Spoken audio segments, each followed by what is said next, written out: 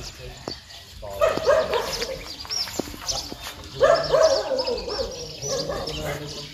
ាប៉ុណ្ណឹងហើយវាប៉ះឈាមប៉ះឈាមទាំងពីររហូត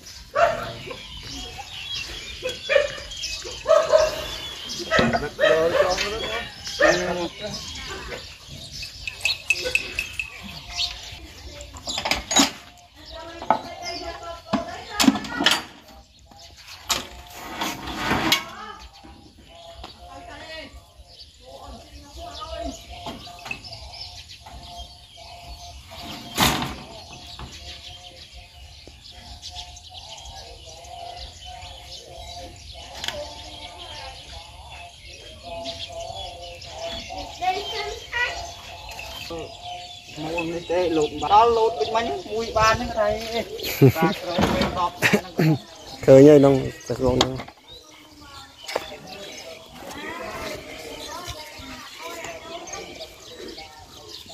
ទៅសាច់ទៅនេះស្មៅពៅវាសនាពូបាប្រចាំទីក្រុង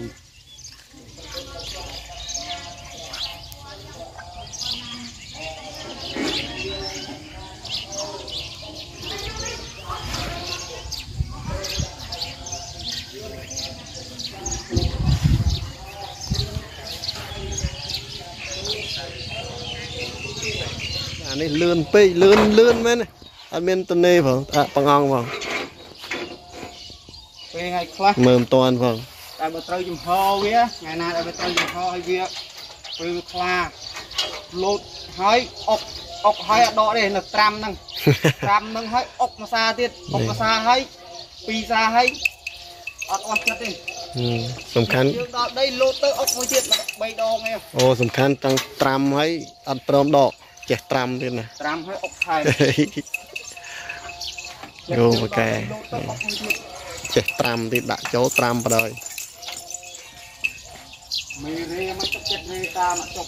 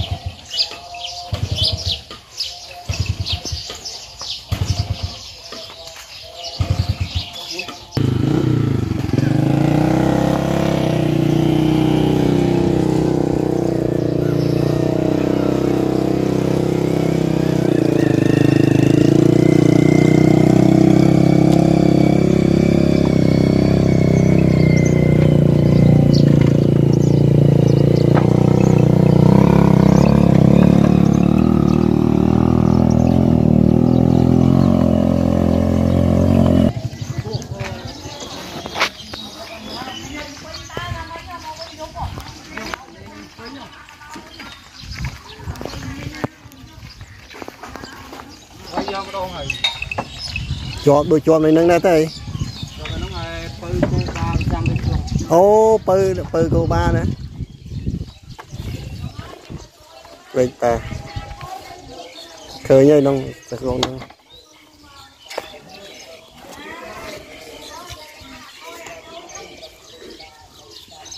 ទៅសាច់ទៅនេះស្មៅពៅវាសនាពូបាប្រចាំទីក្រុង